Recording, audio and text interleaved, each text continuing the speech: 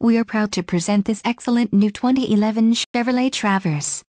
This Traverse has a 3.6L V6 engine and an automatic transmission.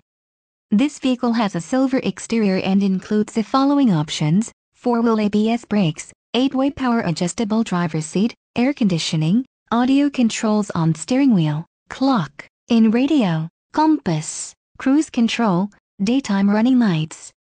Contact our internet sales staff today to schedule an appointment.